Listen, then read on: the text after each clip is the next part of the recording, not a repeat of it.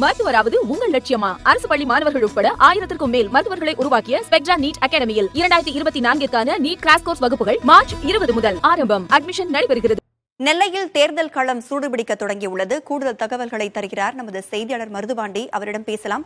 மருதுபாண்டி பாராளுமன்ற தேர்தல் சூடுபிடிக்க தொடங்கி இருக்குது நெல்லையை பொறுத்த வரைக்கும் எவ்வளவு வாக்காளர்கள் எத்தனை பேர் அங்க வாக்காளர்களாக இருக்கிறார்கள்? எத்தனை கட்சிகளை சேர்ந்த வேட்பாளர்கள் வேட்புமனு தாக்கல் பண்ணியிருக்கிறாங்க? இன்னும் யார் யாரெல்லாம் வேட்பு வேட்புமனுவை தாக்கல் பண்ணல அப்படிங்கிற விவரத்தை நீங்க சொல்லலாம்.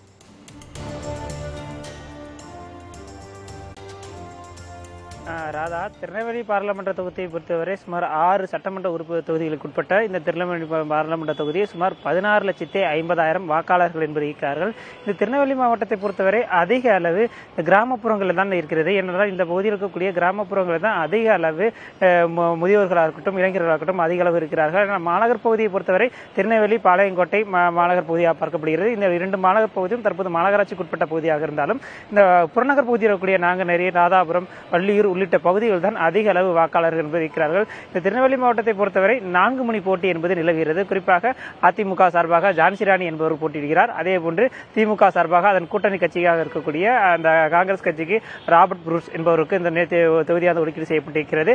அதே போன்று பாஜக சார்பாக நயனார் நாகேந்திரனும் போட்டியிடுகிறார். அதே போன்று நாம் தமிழரசு கட்சி சார்பாக சத்யா என்பவர் போட்டியிடுகிறார். ஸோ நான்கு முனை போட்டி என்பது நிலவுகிறது. இது தவிர பத்திற்கும் மேற்பட்ட சுயேட்சைகளும் இந்த பா- திருநெல்வேலி பாராளுமன்ற தொகுதியை பொறுத்தவரை போட்டியிடுகிறார்கள். தற்போது வரை ஒரு பதி பதினைந்து பேர் வேட்புமனு தாக்கல் நடந்து செய்திருக்கிறார்கள். குறிப்பாக அதிமுக வேட்பாளர்கள் இருக்கக்கூடிய ஜான்சி ராணி அவர்கள் தங்களுடைய வேட்புமனுவை மாவட்ட ஆட்சியிடம் தாக்கல் செய்திருக்கிறார். அதே போன்று நயனா நாகேந்திரன் வேட்புமனு தாக்கல் செய்திருக்கிறார். காங்கிரஸ் கட்சி மற்றும் நாம் தமிழர் கட்சியை சேர்ந்த வேட்பாளர்கள் மற்றும் இன்றோ அல்லது நாளையே வேட்புமனு தாக்கல் என்பது செய்ய வாய்ப்பு இருக்கிறது. இருப்பினும் வேட்புமனு தாக்கல் செய்வதற்கு முன்பாகவே வேட்புமனுக்கள் செய்த பிறகுமே அது கட்சியை சேர்ந்த நிர்வாகிகளும் தலைவர்களும் தங்கள் பிரச்சார பயணங்கள் என்பதை துவங்கியிருக்கிறார்கள். ஆகையால் திருநெல்வேலி மாவட்டத்தை பொறுத்தவரை திருநெல்வேலி மாவட்டத்தில் இருக்கக்கூடிய பிரதான பகுதிகளில் அதன் கட்சி தலைவர்களும் அந்த கட்சி நிர்வாகிகளும் அந்த தங்களுடைய வாக்கு சேகரிப்பு பணி என்பது துவங்கியிருக்கிறார்கள். தொடர்ந்து அந்த பிரச்சார களம் என்பது சூடுபிடிக்க துவங்கியிருக்கிறது. தொடர்ந்து ஒவ்வொரு பகுதிகளாக தாலுகா வாரியாக அந்தந்த கட்சி நிர்வாகிகளும் அதன் வேட்பாளர்களும் தங்கள் வேட்பு வாக்குகளை தங்கள் சின்னத்திற்கு அளிக்க வேண்டும் என பல்வேறு கோரிக்கைகளை முன்வைத்து